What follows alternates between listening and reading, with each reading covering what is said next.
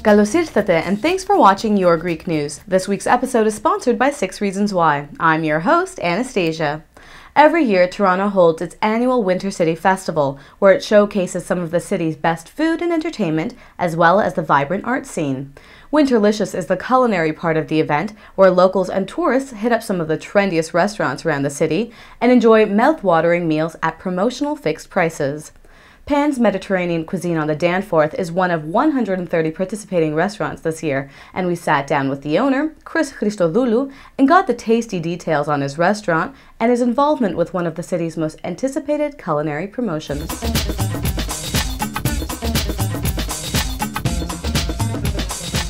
Chris, thank you for joining us today.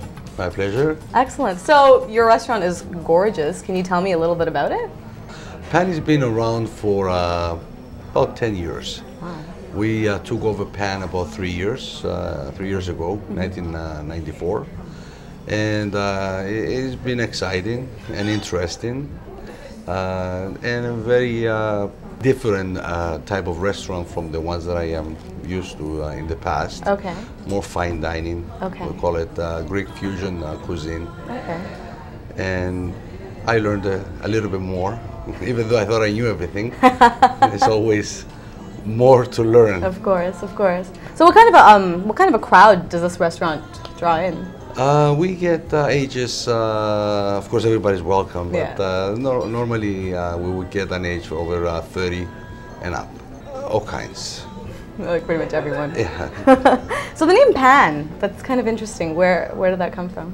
Uh, Pan is um, a, a, basically a Greek uh, god. It comes from the uh, Greek mythology, and uh, he was uh, Pan was the uh, god of uh, forests uh, and uh, and uh, hills. He was uh, half man and half goat. Greek mythology, That's hilarious. and even the Italians actually uh, used uh, Pan as uh, one of their gods, and Oh. they call him Faunus. That's Yeah. interesting. I didn't know that. Well, you mentioned a bit about your experience in the past. So, can you tell me a bit about yourself? I understand you have a bit of restaurant Yes. experience. Um, I started in 1979, and uh, one of my uh, first uh, concepts was the uh, Mr. Greek uh, restaurant that I've created. Uh, uh, Souvlaki on a stick was uh, one of the uh, big uh, success stories. Uh, and uh, after that, uh, in 1989, I've uh, created the uh, Friendly Greek. Right. Uh, that expanded to be uh, about 16 restaurants uh, all over the uh, city. Chicken souvlaki was another uh, Popular. in- introduction in the uh, that took over the uh, pork souvlaki, and uh, it's been exciting and interesting. Uh, I've been on the Danforth since 1979. oh wow. So you've got some Many, history many down here too. yeah. With my wife, of course, Yeah? Sula. Sula has been the uh, the heart and soul Right. of uh, Friendly Greek, Mr. Greek, and now at the Pan.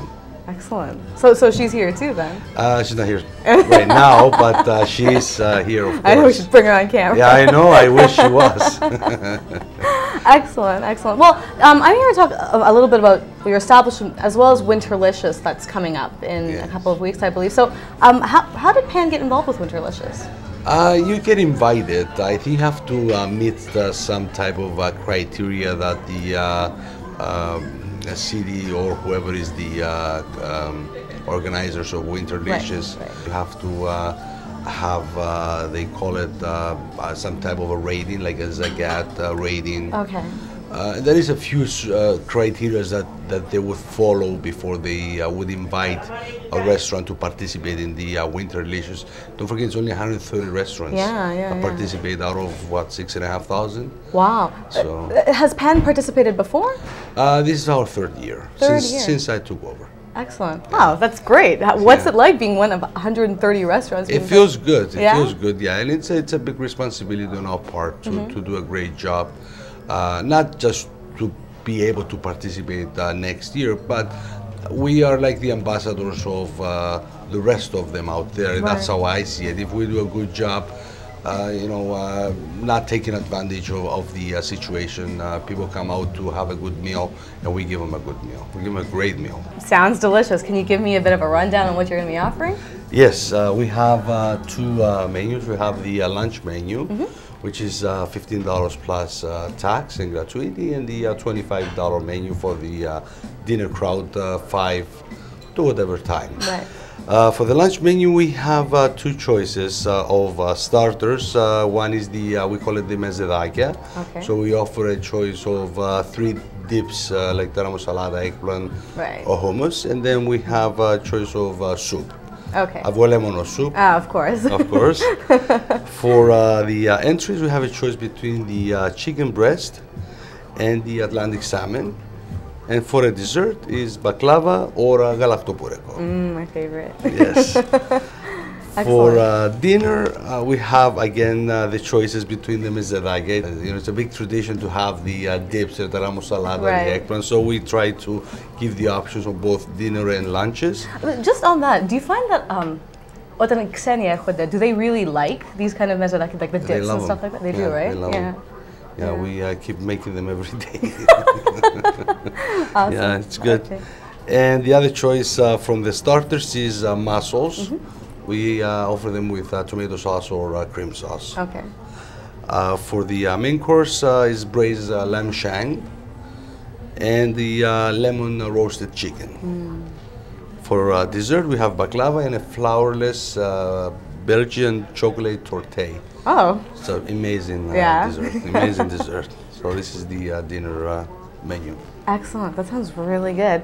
Well, you said you've been part of Winterlicious for the past three years. So, how do you find that that like how does that affect your business being part of Winterlicious? Uh, it's a great opportunity to be part of the uh, Winterlicious. It's like a live uh, advertisement. Uh, you, you get all these uh, uh, people coming from all over the city Right. to uh, take advantage of this uh, great offer. So you expose your restaurant to all these different uh, people that they come here for the first time. So if you do a good job and, and you respect them and you take care of them, hopefully they'll come back.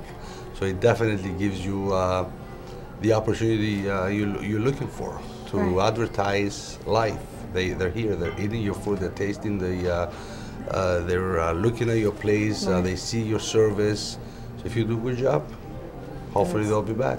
Great, great. Well, there's a lot of restaurants on the Danforth, 130 with Winterlicious. What makes Pan stand out? What makes you guys better than the rest? Well, Pan is a very unique uh, restaurant. It uh, holds its own uh, category in the uh, Greek industry. It uh, offers uh, Greek fine dining, uh, which is not available, to my knowledge, uh, anywhere on the Danforth or in Toronto at this time.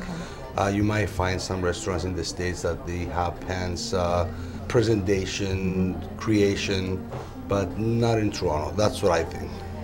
Nice, nice, nice. Do you, do you find uh, that there's a demand for Greek fine dining? Yes, uh, we're busy. We're doing Yeah. very well. So uh, yes, there is a demand. There is always, and don't forget the the uh, time and age.